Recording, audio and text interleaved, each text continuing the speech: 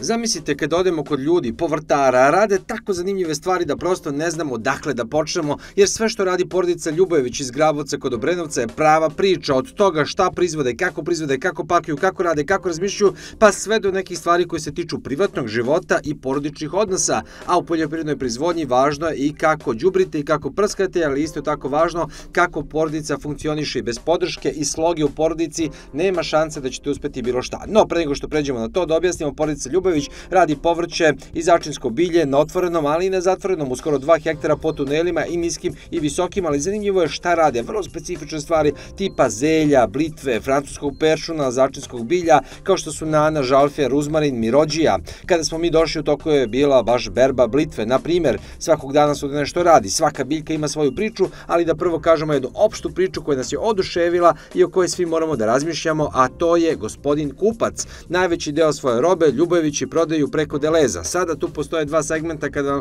budemo pričali o tome koliko je Delez zahtevan što se tiče robe i pogotovo rezidua, naravno to će se dopasti kupcima povrća, ali s druge strane neće se baš dopasti i povrtarima. No u svakom slučaju ovi ljudi su videli da je budućnost u marketima, u mega marketima i velikim marketima i da moraju da idu u tom smeru. Međutim, sada dolazimo do zanjivog dela. Nisu oni čekali da marketi njima kažu kakvu robu da prodaju, kako da je pakuju, šta da rade. Ne, Ljubojevići iskusni povrtari generacijama već su otišli i upoznali svoje kupce i onda su oni predložili Delezu kako da posluju i da zajedno dođu do tržišta i to se pokazalo kao veoma dobro, odnosno dalo je rezultate. A šta je okosnica cele priče? Prvo, mala pakovanja povrća prilagođena kupcu. Drugo, Roba mora da uvek bude oprana i sređena. Moderne domaćice neće da se muče, neće da čiste bilo šta. One žele da samo uzmu sa police i da upotrebe, ne žele kuhinski otpad i treća stvar, svežina, ali o tome posebno. Prvo da vidimo šta je sa tim pakovanjima i šta je sa pranjem. Pogledajte samo ove kesice,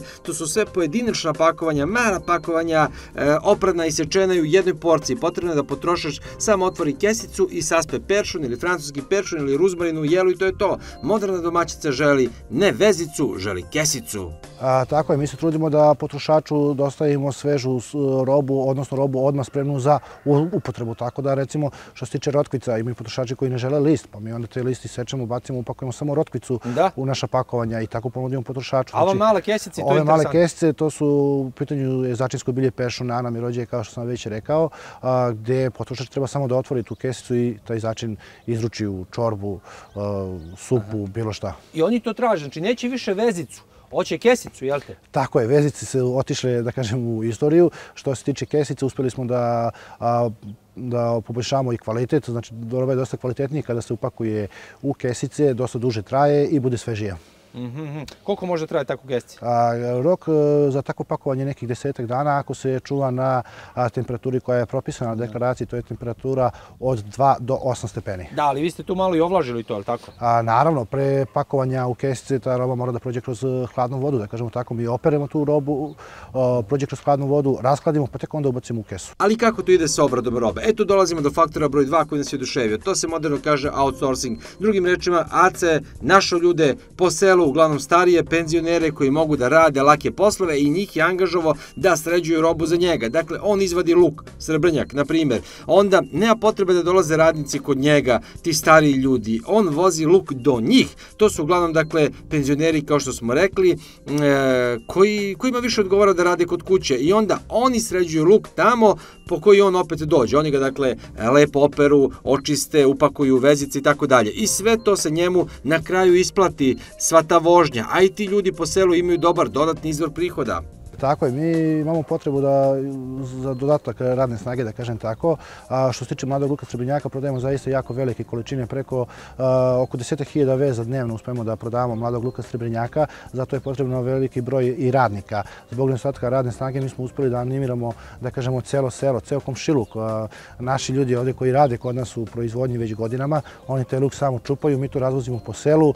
Recimo ljudi koji su penziji, koji su nezapošljeni za nekih 5-6 sati koliko mi je potrebno da očiste samo recimo 1000 veza luka, mogu da zarade i do 2000 dinara i imaju svaki dan posla, što je jako bitno. Čekaj, znači vi njima uzmete luk odavde, iščupan luk, odneste tamo, oni vama srede luk, vi ponovo idete po te luk. Tako je, mi imamo vozača koji je zadužen ovde za selo, 24 časa bukvalno radi, da kažem tako, ide po, po kućama, razvozi tu robu, čim završi sa tim pakovanjem, normalno kupimo odmah da ne bi roba propadala, a, ovde kod nas peremo i vozimo direktno u radnje. Svaka čast, i zadovoljni ti ljudi, i vi, i Maksi. Tako je, svi smo zadovoljni, kao što sam rekao, uspeli smo da nemiramo celo selo, da nađemo neki zajednički posao za sve nas, za dobrobit svih nas. I na kraju ono što smo rekli i čega se Ljubović setio, a opet se tiče logistike više nego same proizvodnje, a to je da njegova roba uopšte ne ide u neki distributivni centar Deleza. Pazite sad ovo, on razvozi svoju robu lično do svakog objekta.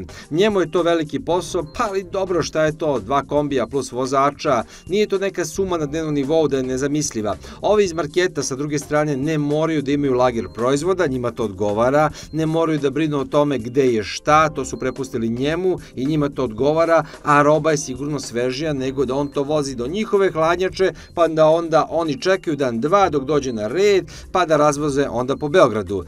No, taj ekstra posao je on tražio i on je ceo plan smislio. U stvari to niko ni ne radi drugi, jer niko ni ne može da po znacima navoda uklopi financijski tu konstrukciju, ali Ljubojević je tu našo načina i to sve ide direktno u gajbice iz marketa, umesto da on bere rinfuzno, pa da on šalje njima, pa da oni to peru i prepakuju, on sve to sredi, upakuje cakum pakum i njima daje gotov proizvod i to na njihovu adresu. Tako je, kao što sam i rekao na samom početku, mi smo veoma blizu Beograda, to smo uspeli da iskoristimo na pravi način. Trudimo se da naši potrošači dobiju zaista prvu klasu robe i svežu robu da dobiju. A potrebno je svega nekih 7-8 sati od ubranog iz naših plastenika do trpeze do nekog potrošača. A, mi robu ne lagerujemo, ne skladištimo je, to su zeleniši i začinsko bilje, to inače ne može nešto pre Znači ovo je samo prosječna hladnjača kao? A, hladnjača služi u letnjem, u leti da se ta roba malo raskladi i da potrošač dobije svežu i hladnu robu.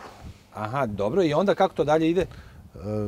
Znači, vi ste ubrali robu. Na koji način? Vi to lično dostavljate Maksiju? Mi znači, to lično dostavljamo Maksiju, tako je sve... Ne, ne, ne Maksiju, svaku prodajemo objektu Maksija u stvari svakom, tako je, to sam upravo htio da vam kažem, mi vozimo direktno u svake radnje u Maxi u Beogradu, tako da recimo specifično je da potrošači recimo na Dedinju znaju da smo u 7 sati, pa nas onda oni tamo čekaju, u pola 8 smo na Banjici, oko 8 smo na Medaku i tako dalje u krug, znači potrošači dobijaju zaista svežu robu. To se sve bere a, danas do nekih 6, 7, 8 sati se sprema, u 9, 10 se već a, robu ubacuju u hladnjaču se raskladi, u 4 sata ujutru se ubacuju u vozila i onda kreće razvoz do 9 sati, uglavnom svaka radnja u Beogradu odnosno svaki maksi u Beogradu ima sveže začinsko mm, bilje da. i zeleniše. I oni su pristali na to, to je interesantno. Nisu preradili, vi ste prvi koji ste to njima, vi ste njima to predložili, tako? Mi smo to, to je zapravo potekla ideja od nas, mogu mogu da kažem tako slobodno da je ideja potekla od nas. E, pre nekih 7-8 e, godina, kao što sam i rekao, začinsko bilje i zeleniši se malo slabije, u stvari dosta slabije prodavali nego sada.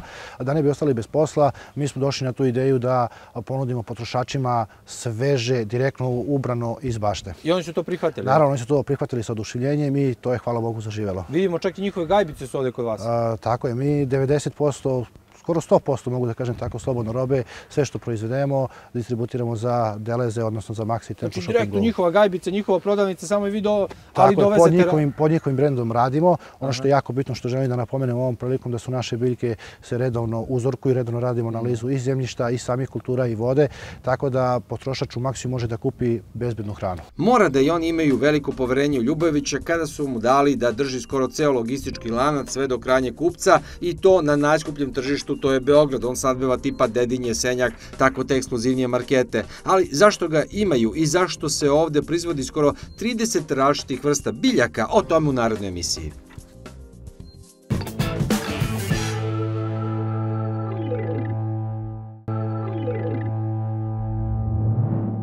Poštovni gledalci, vreme nam je isteklo, videli ste koliko sjajnih informacija, dakle da ponovimo i da naglasimo, ne treba PIO za ovaj novi konkurs 10, 40, 50. Mi ćemo to objavljivati i na internetu i u Facebook grupama Dobra bolja zemlja i na portalu Bolja zemlja da animiramo ljude, treba što više da konkuriše, pa onda se vidi e, tako reći ko je to zaslužio, ali što više bude ljudi koji će konkurisati, to je veća šansa da se nešto dobije. Čuli ste koji su uslovi konkursa, čuli ste da to kreće možda, nadamo se već ove nedelje, tako su obećali iz Ministarstva poljoprivrede, ali prati pratit ćemo to i dalje, postavit ćemo i pitanje ministarstvu u narednoj emisiji, čekamo odgovore kad će biti isplaćene subvencije, kad smo već kod para i kod subvencionisanja novih stvari vezano pogotovo za krave i stočarima. Nažalost, vremena više nemamo, nažalost kažemo, a imali smo još puno toga da vam prikažemo i kažemo, ne zaboravite broj telefona 063 112 6823, zovite slobodno, stojimo na raspolaganju tokom radnih dana, ako je nešto hitno i tokom vikenda, koliko god možemo, mi se trudimo. Do naredne bolje zemlje želimo vam sve najbolje. Doviđenja i vidimo se.